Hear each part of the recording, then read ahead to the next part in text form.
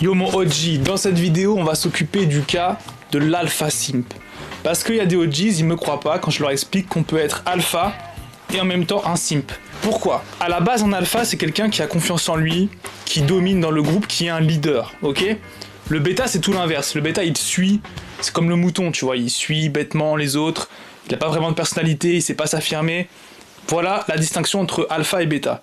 Maintenant ce que tu peux comprendre rapidement c'est que l'alpha est un bêta qui a confiance en lui. Moi, je le vois comme ça. L'alpha n'est pas quelqu'un de surpuissant. S'il perd son statut, que ce soit au niveau financier, euh, son apparence, je sais pas, avant il était très musclé, bah, il fait une dépression, il devient obèse, etc. Il perd son statut d'alpha dans le groupe. C'est très fragile, un alpha. Ça dépend de la hiérarchie, donc il est en compétition. Le bêta simp, il veut devenir alpha, il veut remplacer l'alpha. Et l'alpha, il a peur de perdre sa place. Donc l'alpha, il est toujours dans la compétition, il doit toujours prouver. Donc alpha et bêta, c'est sur la même pièce. C'est les deux côtés opposés de la pièce. Tu vois? Tu as le bêta qui est en dessous, l'alpha qui est au-dessus, mais à tout moment, la pièce, ça peut tourner, ça peut se renverser. C'est ça que les OGs comprennent pas, c'est que beaucoup d'alpha sont en fait des bêtas au fond d'eux, dans leur comportement. Pour moi, un bêta déjà, c'est quelqu'un qui cherche à plaire aux femmes.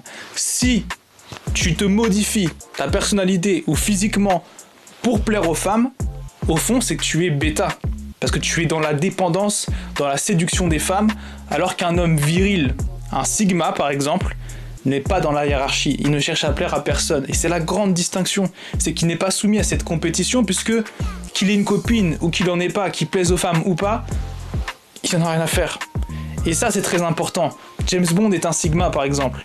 James Bond, si tu lui enlèves ses armes, et euh, s'il ne fait plus de musculation, ça restera James Bond. Ça veut dire que sa façon de penser, elle est Sigma. Il a besoin de personne, il se débrouille, etc. L'alpha peut être un acteur de haut standing, par exemple Will Smith. Will Smith est un alpha. Euh, il a fait Men in Black. Il était stylé. Pour toute une génération, c'était le prince de Bel Air. Will Smith, il nous faisait rêver en tant qu'homme.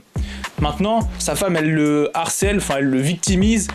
Euh, dans les trucs de People, etc., les magazines, sur Internet, elle dit que Will Smith, en gros, c'est une victime, tu vois. On pourrait se dire, mais attends, Will Smith, il devrait pas se laisser faire, il devrait pas se laisser manquer de respect. Mais tu peux être alpha au niveau financier, avoir confiance en toi, être un leader, influencer plein de gens, et face aux femmes, être un bêta complet. C'est une façon de penser, c'est un état d'esprit, mon dit. La virilité, c'est pas juste une apparence. Quand je vois des gars qui font des vidéos, euh, oui, euh, pour avoir une mâchoire plus carrée, il faut faire ça. Alors je juge pas. Enfin oui, je juge parce que je trouve ça ridicule, mais si tu dois modifier ta mâchoire pour en retour plaire aux femmes, c'est une psychologie de bêta complet. Parce que tu es soumis à la volonté des femmes, tu es soumis à leur envie et tu vas déformer ton visage pour plaire à un type de femme. Mon dit, arrête les bullshit. Une fille qui voit un mec qui est stylé, qui est viril, et c'est pas seulement physique la virilité, très important à comprendre.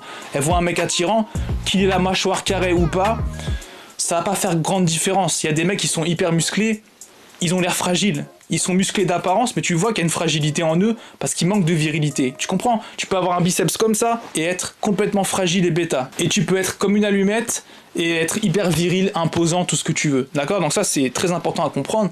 Faut pas faire dans euh, la simplicité. Il n'y a pas des alphas. Et t'es alpha dans tous les domaines et c'est comme ça, et t'es bêta, t'es bêta dans tous les domaines. Non, peut-être que tu as des difficultés aujourd'hui avec les femmes, en devenant plus mature, tu auras plus ces difficultés. Donc t'es pas un bêta toute ta vie, et peut-être même que tu es bêta avec les femmes parce que t'as pas d'expérience, mais en sport tu es excellent, t'es un alpha dans ton domaine, dans ton club de foot t'es le meilleur, mais avec les filles t'es un peu timide. Bah voilà, t'es un bêta on va dire entre, avec les filles, mais ça veut pas dire que t'es une mauvaise personne ou que t'es un nul, ok? C'est trop simple ça, cette façon de penser. Et c'est pas parce que t'es un alpha dans le groupe, on t'invite aux soirées et que tu fais rire tout le monde et que tu sors avec plein de filles, ça veut pas dire que tu as compris la psychologie féminine, que tu as appris la red pill et que tu n'es pas un bêta. Il y a beaucoup de mecs qui sortent avec plein de filles qui n'ont rien compris aux femmes et au final ils se font juste humilier par les femmes. T'as des grands mecs séducteurs, leur psychologie, ils pensent dans leur tête que ce sont des alphas, leur psychologie est très bêta. Ils calculent la, façon dont ils vont parler à une fille, dans la façon dont ils vont bouger, la façon dont ils vont pouvoir la manipuler, parce qu'ils veulent cette femme, parce qu'ils sont dépendants d'elle. Tu comprends? Un homme véritablement, il en a rien à faire. Je dis pas que tu négliges euh, comment dire ton apparence et que tu parles mal ou que les filles tu les ignores complètement. C'est juste que qu'elles te valident ou qu'elles te valident pas, ça change rien à ta vie, toi. Tu sais qui tu es, tu sais quel est ton objectif. Bah, voilà, leur avis, on s'en fout, tu vois. Ce sont des femmes, c'est des bonus. Ça, c'est une façon de voir. qu'on va appeler plus alpha en vérité et surtout plus sigma.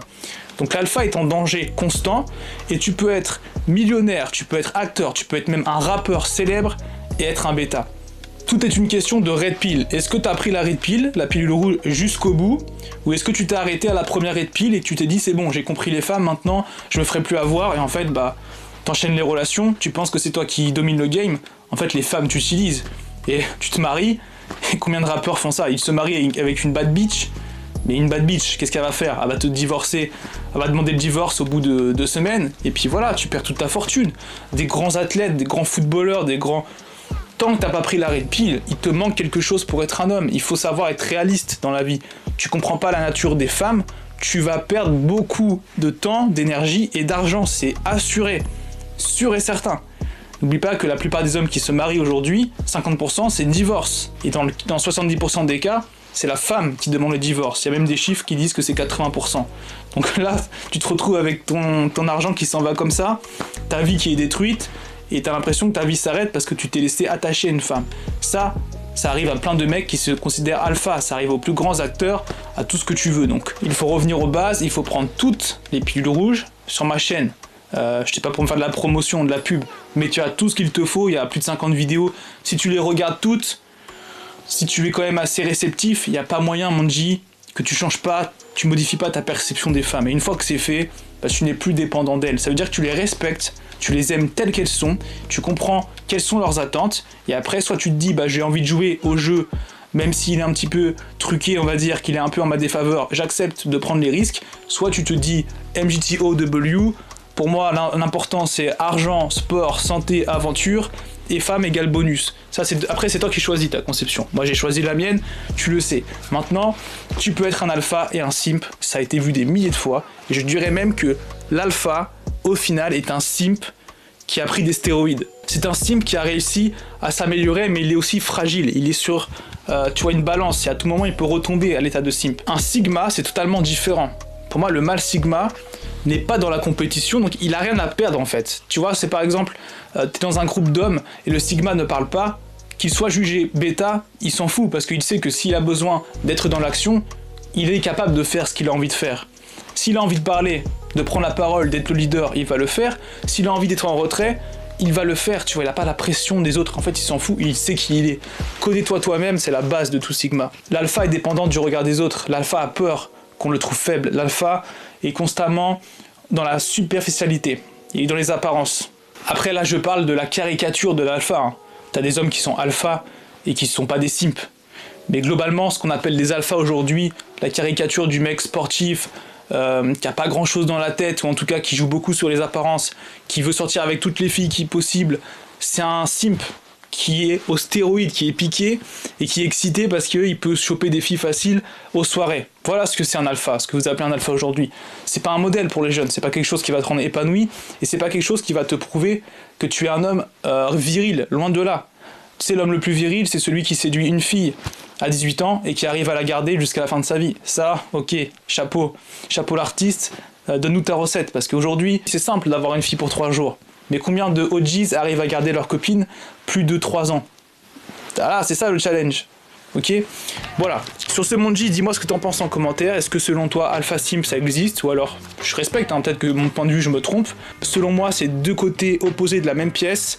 Et tu peux être alpha dans plein de domaines, un simp, inversement. Et selon moi, encore une fois, pour finir, le Sigma reste l'homme idéal parce que voilà, c'est celui qui n'est pas dépendant de cette hiérarchie, de cette compétition, et surtout celui qui est plus dans la profondeur et le fait de progresser en esprit. Donc ça rejoint la philosophie de premier round, évidemment c'est ce que je propose, et c'est un idéal à atteindre. On n'est jamais totalement Sigma, c'est ce qu'on vise. Je te souhaite le meilleur Manji. Ous